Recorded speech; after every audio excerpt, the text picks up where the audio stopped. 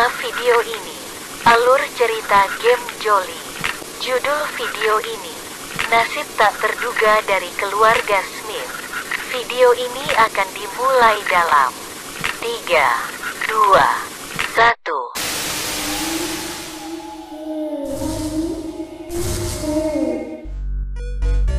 1. Assalamualaikum warahmatullahi wabarakatuh Halo teman-teman, jumpa lagi dengan Kusapangan Nyan Dan ya, sesuai dengan permintaan kalian Yang mana banyak sekali dari kalian yang ingin Gue membahas alur cerita dari game Jolly dan Jollibee Maka dari itu, gue akan membahasnya sekarang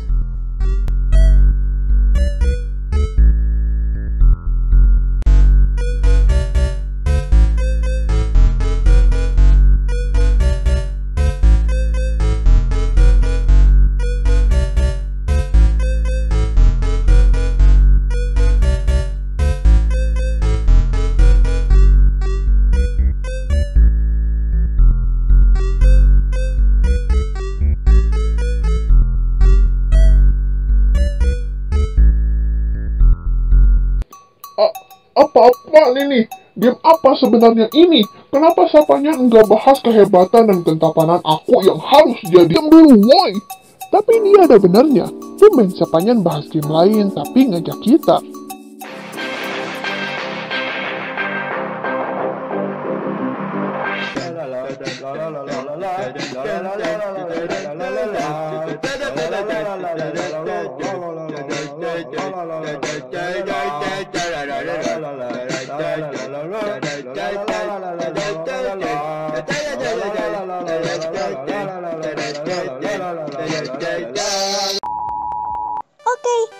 Tapi sebelum gue mulai, bagi kalian yang gak tahu game Jolly, jadi game ini merupakan game Five Nights at Freddy buatan penggemar, atau bisa dibilang fan made.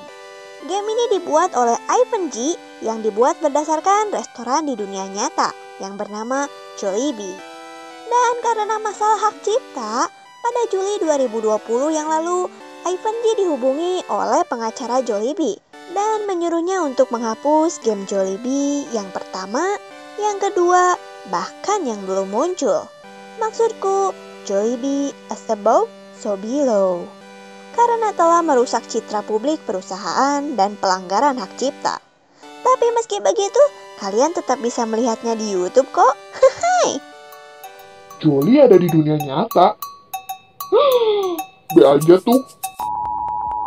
Oke, kembali lagi ke topik. Dan ya, sesuai dengan postingan kemarin, gue sudah memperhatikan semua game Jolly. Dan setelah gue tonton semua, gue menemukan lore atau cerita pada game ini.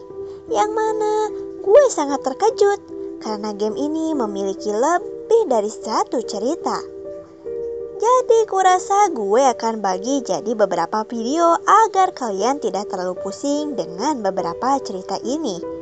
Dan juga sekedar info, karena game Jollibee as above so below dihentikan dan game Jolly 4 masih belum dirilis, jadi gue nggak akan bahas nyau. Tapi Jolly 4 udah ada. Itu cuma spoiler doang, gamenya belum dirilis, woi! Oke, tanpa perlu banyak basa-basi lagi, jadi sesuai dengan judul dan juga thumbnailnya, pada video ini gue akan membahas mengenai cerita dari keluarga Smith yang menghantui game ini. Maksudku, restoran ini. Penasaran? Tonton sampai habis ya, karena misteri selalu ada sampai akhir.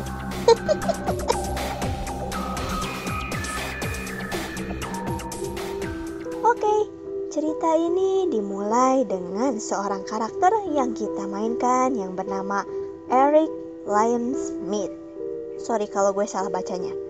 Pada minigame, terlihat kalau kita adalah pegawai baru yang bekerja di restoran Freddy Fazbear Pizzeria di tahun 1985.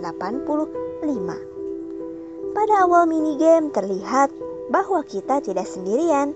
Ada seseorang yang bersama kita yang mana orang ini diyakini sebagai staff atau bisa dibilang senior kita.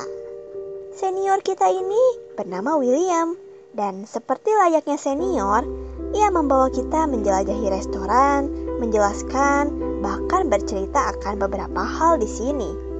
Tidak hanya itu, ia juga memberikan kita tugas. Dan setelah William memberikan tugas, ia pun pergi meninggalkan Eric.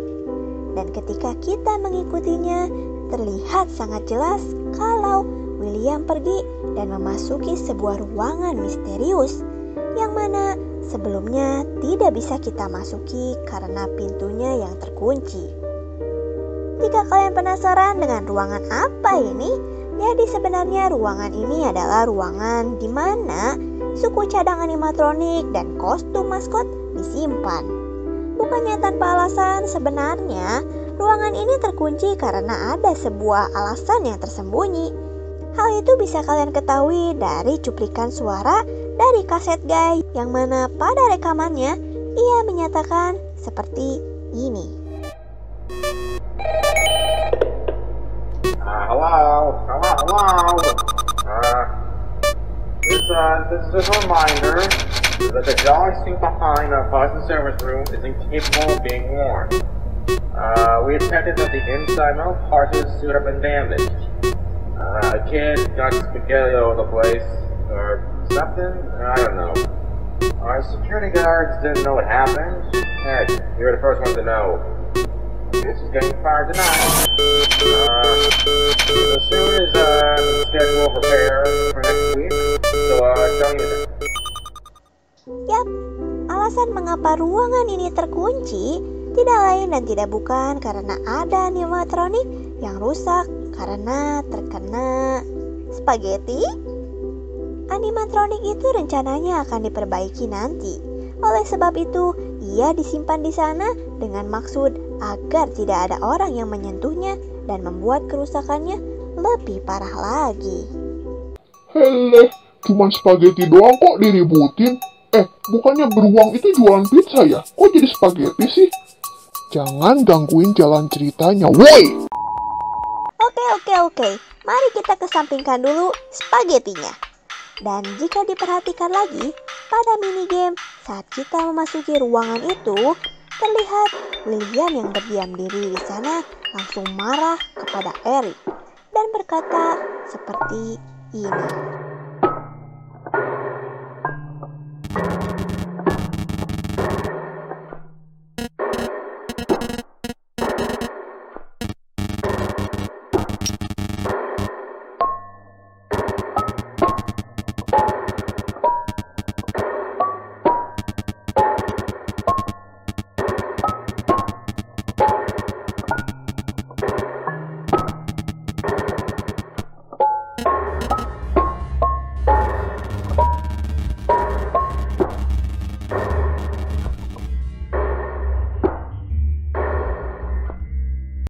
Beneran gak akan bahas spaghettinya nih?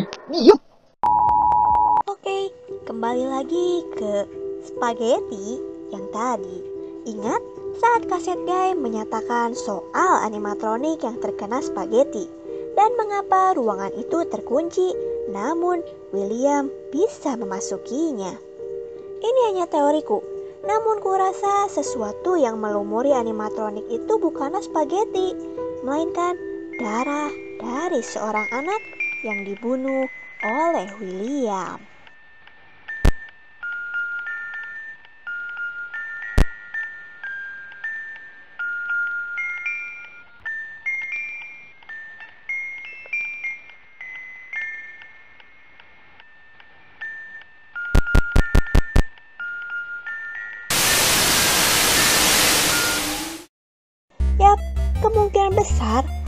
Alasan William marah saat Eric memasuki ruangan itu mungkin karena William tidak ingin kejahatannya diketahui oleh orang lain.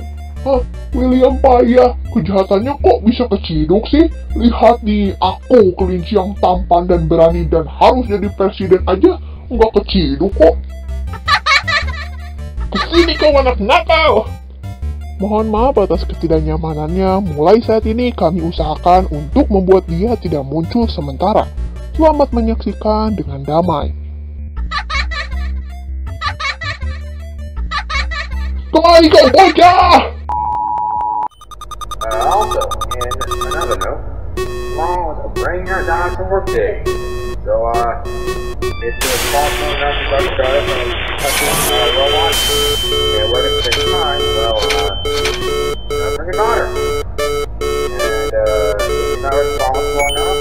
your daughter break our robots, then the for repair will be taken off from your paycheck.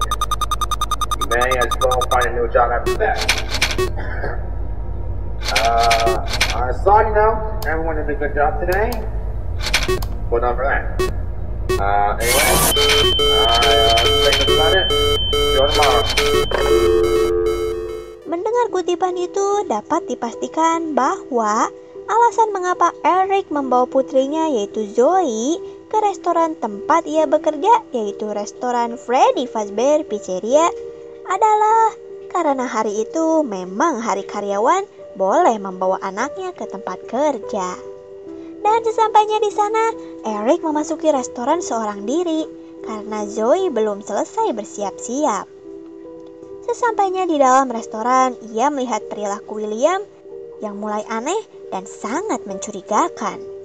Perilaku aneh yang dimaksud adalah Eric melihat William yang menggunakan kostum dan membawa anak-anak satu persatu ke ruang belakang atau part and service. Lalu menguncinya. Merasa ada yang tidak beres, Eric memutuskan untuk mengawasinya dan melihat apa yang sebenarnya terjadi. Tapi sebelum melakukan hal itu, ia keluar dari restoran terlebih dahulu dan meminta anaknya, Zoe, untuk tidak memasuki restoran untuk sementara.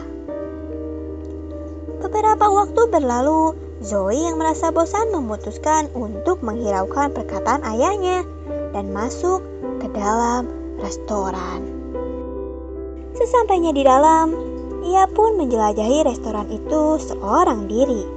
Sampai akhirnya ia ditangkap oleh William. Eric yang sudah mengetahui maksud dari William itu pun berusaha untuk menyelamatkan anak-anak. Namun, ia terlambat.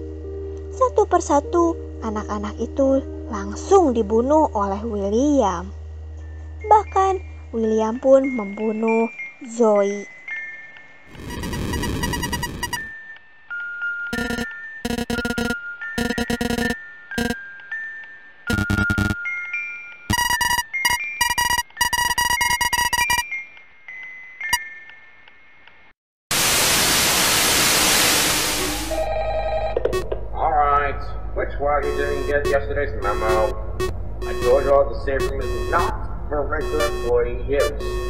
Just had a door unlocked this morning. And also, why is the couch all over the floor? William told me that there was catching. This brings me to the conclusion of you may have thought that this room was a break room for employees. Spoiler warning, it isn't. Alright, let me repeat. This is not a break room and should not be considered a place for employees to hide and or congregate. And under no circumstances should a customer ever be taken into this room and out the main show area. I hope all of you speak English and actually understood what I just said. If I see one of you enter that room again, fired. Alright, see you tomorrow. Oke, kembali lagi ke restoran Freddy Fazbear Pizzeria. Pada kaset kali ini, kaset guy atau pemilik restoran ini mendapatkan laporan dari William yang menyatakan tentang ruangan safe room atau part and service yang tidak terkunci. Dan banyak sekali saus tomat berceceran di lantai. Dan siapa pun pelakunya akan dipecat atau diberhentikan. Memang tidak dijelaskan cara langsung, tapi kemungkinan besar William sengaja berbohong mengenai saus tomat yang berceceran. Kemungkinan besar itu bukanlah saus tomat, melainkan darah anak-anak yang sebelumnya ia culik dan ia bunuh. Man, what happened was tragedy. I'm truly sorry to everyone who got involved. I will come with something about it very soon. See you tomorrow. Tidak lama setelah itu, berita akan anak yang hilang itu mulai tersebar. Ini hanya teoriku. Mungkin William tidak ingin kejahatannya diketahui atau disebarkan oleh Eric. Jadi ia pun menyusun rencana dengan menuduh Eric sebagai pelaku yang menggunakan safe room untuk beristirahat dan memakan saus tomat. Juga menyatakan kalau Ericlah pelaku dari kasus menghilangnya anak-anak. Mendengar hal itu tanpa keraguan, bos atau bisa dibilang kaset guy pun memecat Eric dan langsung mencari penggantinya. Hal itu dibuktikan dengan sebuah artikel di situs pencarian kerja yang mana memperlihatkan sebuah lowongan pekerjaan sebagai satpam di sebuah kapal. Oke, oke, oke. Jadi jika kalian dengarkan lagi perkataan kaset guy, ia menyatakan bahwa ia membutuhkan beberapa orang penjaga atau satpam untuk berjaga saat proses pemindahan para animatronik ke tempat yang aman berlangsung. Atau ya, berikut cuplikan kalimatnya. Alright everyone, the animatronics are um, being shipped off to another safer location, as they say, for health inspection of some sort. I don't know. Uh, the shipping company is asking if someone here wants to guard our cargo while it's being transported. So uh, if anyone wants to volunteer for this, just reach me in my office tomorrow. If no one doesn't want to volunteer, then I'll just pick someone randomly from my security guard. Oke, ini hanya teoriku. Karena bos sudah memecat Eric, ia pun mencari penggantinya di situs pencarian kerja. Dan karena Eric yang tahu kebenaran akan kasus hilangnya anak-anak, ia pun mencari bukti dengan menyelinap pada saat animatronik sedang dipindahkan. Mengapa aku yakin kalau dia ini sedang menyelinap? Oke, jika kalian perhatikan baik-baik, Eric tidak memakai lencana seperti yang lainnya. Jadi kurasa dia menyelinap masuk untuk mencari bukti akan kebenaran dari kasus hilangnya anak-anak. Atau lebih tepatnya penculikan dan pembunuhan anak-anak yang dilakukan oleh William. Oh iya, hampir lupa. Jadi, sebelum berita akan hilangnya anak-anak tersebar pada 26 Juni 1985, satu hari sebelumnya, atau lebih tepatnya 25 Juni 1985, Eric menceritakan kejadian itu kepada istrinya. Kejadian di mana Zoe mati dibunuh oleh William di restoran Freddy Fazbear Pizzeria. Dan setelah mengetahui akan hal itu, istri Eric yang bernama Tony Audrey Smith pun memutuskan untuk pergi meninggalkan Eric dengan cara menceraikannya. Hal ini diketahui dari sebuah surat pernyataan cerai yang digugat beratasnamakan istrinya. Yap, Tony Audrey Smith dengan terdakwa suaminya yaitu Eric Liam Smith. Setelah berpisah dengan Eric, Tony masih belum bisa menerima kenyataan mengenai restoran yang sudah merenggut nyawa putrinya. Perceraiannya dengan Eric saja belum cukup. Tony yang merasa sangat stres pun memutuskan untuk ke restoran dan menyabotase isi dari restoran itu. Menyabotase yang dimaksud itu seperti merusak atau mungkin membuang beberapa barang yang ada dan juga menyabotase animatronik.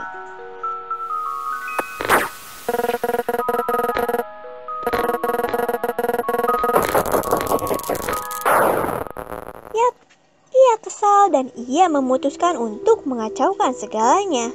Namun, hal yang terjadi malah di luar dugaan. Yap, Tony Audrey Smith mati dan mulai merasuki animatronik Metalionet atau Antoinette. Beberapa minggu kemudian, Eric kembali bekerja sebagai penjaga malam. Kurasa alasan mengapa ia kembali menjadi satpam di restoran yang memiliki kenangan pahit dengannya mungkin tidak lain dan tidak bukan karena ia ingin sekali mencari bukti kuat untuk mengungkap kasus hilangnya anak-anak. Tapi seperti yang kita tahu sebelumnya ia dipecat bukan? Bahkan ia pun diawasi oleh pihak kepolisian. Tidak hanya itu, bahkan pada minigame terlihat kalau Eric dikejar oleh pihak kepolisian loh. Dan yap, berikut cuplikannya. Mini game complete, I assume. Oh, oh, what is this? Secret mini game within a mini game? Just gonna walk towards Jolly. Hide, hide! I'm gonna hide! I'm gonna hide in Jolly.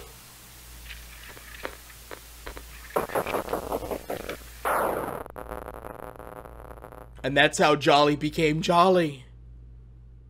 Oh. Eric yang dikejar oleh polisi itu pun memutuskan untuk bersembunyi pada kostum Jolly. Namun yang terjadi malah di luar dugaan. Beberapa waktu setelah memasuki kostum Jolly, ia pun terkena kegagalan kunci Pegas atau spring lock, failure, dan mati. Dan karena Eric sudah mati, terlihat pada slip gaji kita yang awalnya bernama Liam Smith berubah menjadi Matthew Thompson pada malam ketujuh. Keluarga yang sangat menyedihkan, tidak harmonis, bahkan sangat suram. Tony kesetrum menjadi puppet, Eric kena spring off jadi Jolly, dan anaknya mati jadi mayat.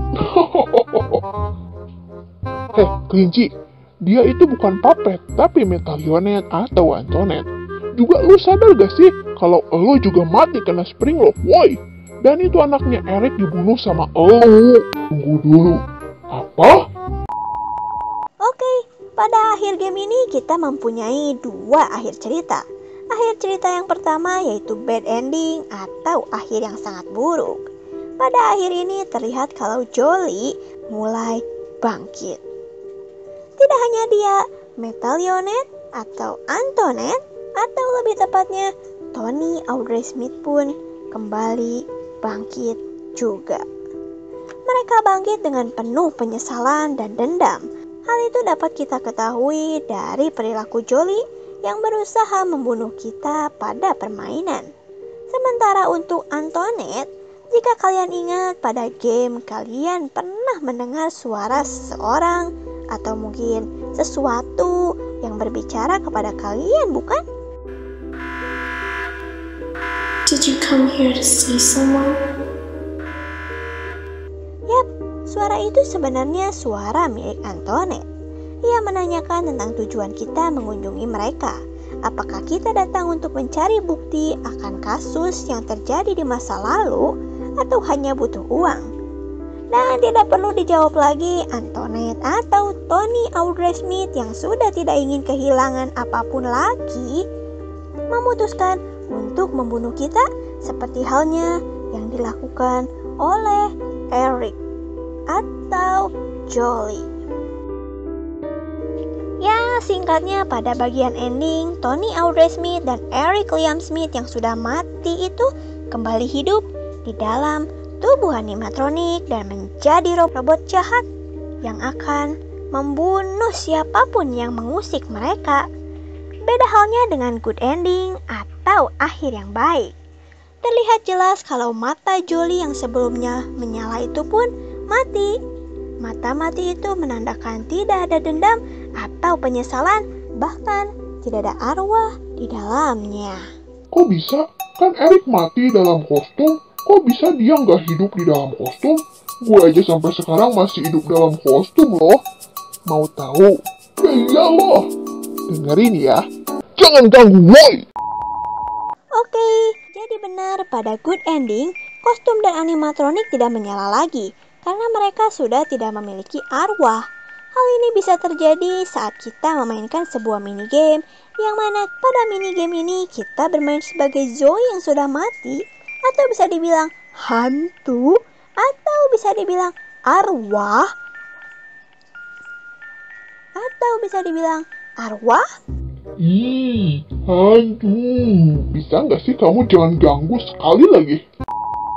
Oke, jadi pada minigame ini, kita bermain sebagai arwah yang akan menjelajahi restoran. Bukannya tanpa alasan di restoran, kita mencari arwah ayah dan ibu kita. Setelah menemukan mereka, kita pun harus menuntun mereka ke sebuah tempat yang mana setelah mereka bersama, mereka pun bisa beristirahat dengan tenang. Jadi, ya singkatnya pada bagian bad ending, ayah dan ibu Zoe yang belum tenang membuat mereka terjebak di dalam animatronik dan meneror bahkan membunuh orang-orang. Sementara pada good ending, ayah dan ibu Zoe diselamatkan oleh Zoe dan mereka pun bisa meninggalkan dunia ini dengan tenang bersama-sama. Dan itulah akhir dari cerita keluarga Smith pada game ini. Lalu yang ngeracun ini siapa? Terus yang rekam suara dan rekam video nggak dibahas? Wah parah nih sapanya, bikin video nggak lengkap nih. Wah parah sekali. Sebenarnya gue juga penasaran, tapi... Eh, kelinci, sopan dikit lah. Kamu belajar sopan santun gak sih? Tapi sapanya belum bahas semuanya. Tapi sopan dikit lah dasar kau kelinci bakar. Ye ye ye. Jadi kawan-kawan, hanya mengingatkan ya. Sebelumnya, gue sudah mengatakan kepada kalian kalau cerita Jolly ini nggak cuma satu cerita. Jadi gue putuskan untuk bikin beberapa video. Dan ya, pada video ini gue hanya menceritakan tentang kisah dari keluarga Smith yang tragis. Untuk episode berikutnya barulah gue akan bahas mengenai kasus peracunan makanan ini, koran-koran yang ada, bahkan gue akan membahas seluruh isi file suara atau video pada game ini. Jadi tunggu aja ya. Karena misteri selalu ada kelinci yang tampan dan harus jadi presiden. Selalu ada sampai akhir, woi bukan ada kelinci bakar yang pantas untuk digoreng. Sofankah begitu?